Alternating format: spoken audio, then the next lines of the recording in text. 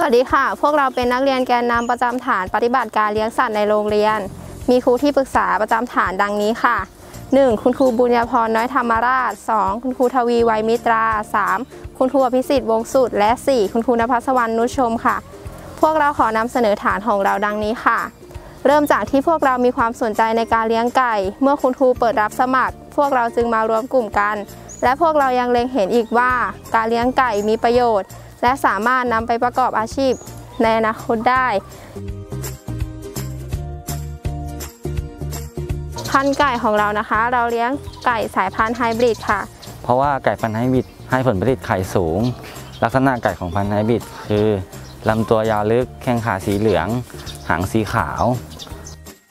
ลักษณะไข่คือ ไข่เปลือกไข่สีน้ำตาลแดง ไข่ข้างในเป็นสีแดงเข้ม อาหารไก่ของเรานะคะ 1 กระสอบจะมี 30 กิโลกรัมนะคะ การให้อาหารไก่นะคะ ช่วงเช้านะคะ7นาฬิกาถึง8นาฬิกาช่วงเย็น 15นาฬิกาค่ะ ไก่นะคะ ต้องการแคลเซียมเพื่อสร้างเปลือกไข่ จึงจะให้โปรตีน 17-18%แล้วแต่การให้ไข่ พวกเราได้สังเกตเล็งเห็นว่าไข่ไก่ของเรานั้นไม่แดง จึงค้นคว้าหาข้อมูล จะทำอย่างไรให้ไข่ไก่ของเราแดงขึ้น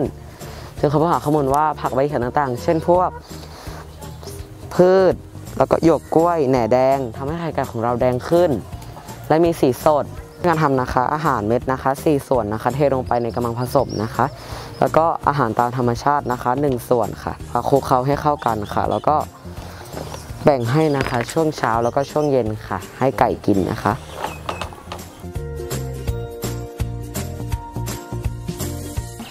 ครับการเลี้ยงปลาของเราเริ่มจากที่เรามีสระอยู่แล้ว แต่เป็นสระที่รกร้างขาดการดูแล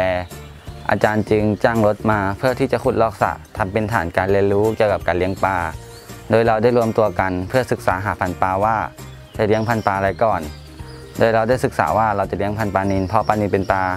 พระราชทานจากในหลวงรอเก้าและเป็นปลาน้ำจืดกินพืชที่สามารถเลี้ยงได้ง่าย เพราะสามารถปรับสภาพตัวเองเข้ากับสภาพแวดล้อมได้ดี โดยเราได้ศึกษาต่ออีกว่า เราจะเลี้ยงพันธุ์ปลาอะไรต่อที่ไม่กินกันเอง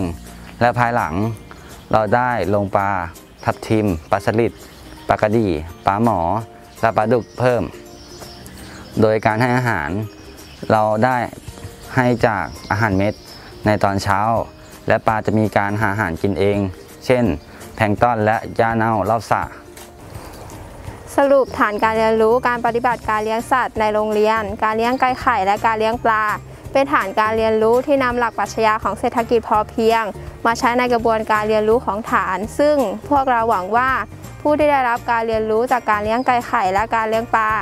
จะสามารถนำความรู้และประสบการณ์ที่ได้จากฐานนี้ ไปประยุกต์ใช้ในชีวิตประจำวัน หรือสามารถไปประกอบอาชีพในอนาคตได้